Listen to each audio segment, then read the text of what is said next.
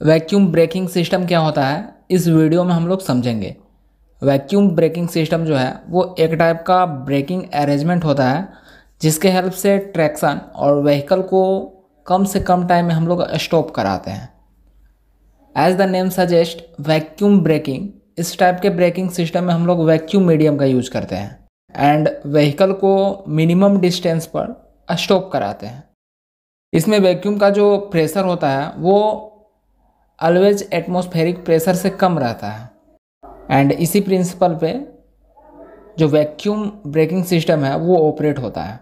Vacuum braking system जो है, वो डिफरेंट मेन एलिमेंट से मिलकर कंसिस्ट होता है। लाइक ब्रेक पैडल ऑपरेटर जो व्हीकल को ड्राइव करता है, वो ब्रेक पैडल पर फोर्स अप्लाई करता है, जिससे आगे का जो मैकेनिज्म होता है, वो वर्क करता है।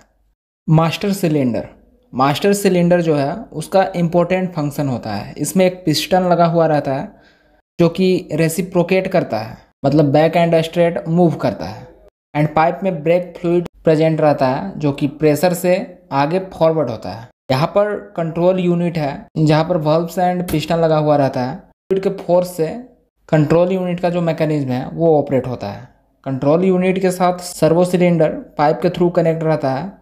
इसमें भी पिस्टन लगा हुआ रहता है। पिस्टन के left side atmospheric pressure create करते हैं एंड इसके राइट साइड वैक्यूम क्रिएट करते हैं। इसमें भी एक स्प्रिंग कनेक्ट रहता है, जिसके हेल्प से जो पिस्टन है, वो रेसिप्रोकेट करता है। सर्वो सिलेंडर का जो पिस्टन है, वो ब्रेक लीवर के हेल्प से ब्रेक शू एंड कैम से कनेक्ट रहता है। ब्रेक शू पर ब्रेक लाइनिंग प्रोवाइड किया जाता है, जिसको फ्रिक्शन लाइनिंग भी बोलते हैं। जो कि ब्रेक शू एंड कैम के बीच फ्रिक्शन को इंक्रीज करता है। शू के आउटर फ्रेम पर ब्रेक ड्रम लगा हुआ रहता है, जो कि व्हीकल व्हील से अटैच रहता है। ब्रेक शू के साथ एक स्प्रिंग अटैच रहता है, जब ब्रेक अप्लाई होता है तो ब्रेक शू जो है, वो स्प्रिड होता है। ब्रेक पैडल रिलीज़ होता है जो स्प्रिंग है, वो ब्रेक शू को उसके इनिशियल पोजीशन पर रिगेन करता है, उसको वापस इनिशियल शेप में ले आता है। एंड यहाँ पर वैक्यूम रिजर्वायर है, जो कि सर्वो सिलेंडर के राइट साइड कनेक्ट रहता है। जब व्हीकल और ट्रैक्शन को स्टॉप कराना होता है तो जो ऑपरेटर और ड्राइवर रहता है, वो ब्रेक पैडल को प्रेस करता है। ब्रेक पैडल रोड के थ्रू मास्टर सिलेंडर से कनेक्ट रहता है। सो पैडल प्रेस करने से मास्टर सिलेंडर का जो पिस्टन होता है, वो रेसिप्रोकेट करता है। जिससे पाइप में प्रेजेंट फ्लूइड फॉरवर्ड मूव करता है एंड इस पिस्टन को अपवर्ड फोर्स करता है, ऊपर की ओर फोर्स करता है। एंड पिस्टन जब मूव करता है तो कंट्रोल यूनिट के अपर पोर्शन पर एटमॉस्फेरिक प्रेशर क्रिएट होता है। And as well as servo cylinder के लेफ़्ट साइड भी एटमॉस्फेरिक प्रेशर क्रिएट होता है, क्योंकि दोनों चैम्बर जो है, वो पाइप के थ्रू कनेक्ट रहता है। एंड सर्वो सिलेंडर के राइट साइड वैक्यूम रहता है। क्योंकि जो राइट साइड है वो पाइप के थ्रू वैक्यूम रिजर्वायर से कनेक्ट रहता है। So as we know vacuum का जो प्रेशर होता है वो एटमॉस्फेरिक प्रेशर से कम रहता है। इसलिए जो पिस्टन है वो फॉरवर्ड मूव करता है एंड वहाँ पर पिस्टन लीवर एंड कैम से कनेक्ट रहता है। सो so, पिस्टन के मूव करने से कैम ब्रेक शू के ऊपर फोर्स अप्लाई करता है। एंड फ्रिक्शन के कारण ब्रेक शू स्प्रीड होता है।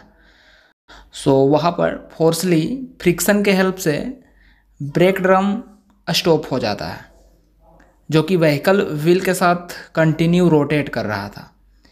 एज अ रिज़ल्ट ट्रैक्शन और व्हीकल जो होता है वो स्टॉप हो जाता है। एंड जब ऑपरेटर पैडल को रिलीज़ करता है तो स्प्रिंग जो है वो ब्रेक शू को उसके इनिशियल पोजीशन पर ले आता है।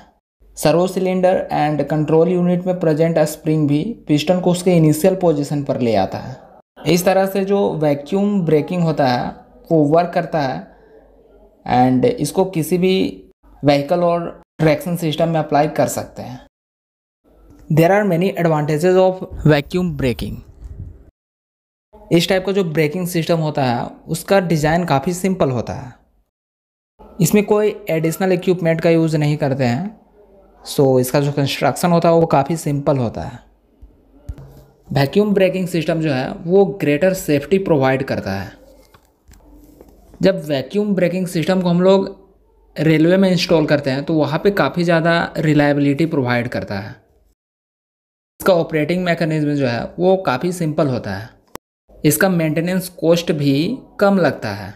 एंड इसको अगेन एंड अगेन मेंटेनेंस का रिक्वायरमेंट नहीं होता है। Also there are many disadvantages like इसमें वैक्यूम पंप का रिक्वायरमेंट होता है। इसमें लार्ज ब्रेक सिलेंडर होता है, जो कि सिस्टम को थोड़ा कॉम्प्लिकेटेड बनाता है।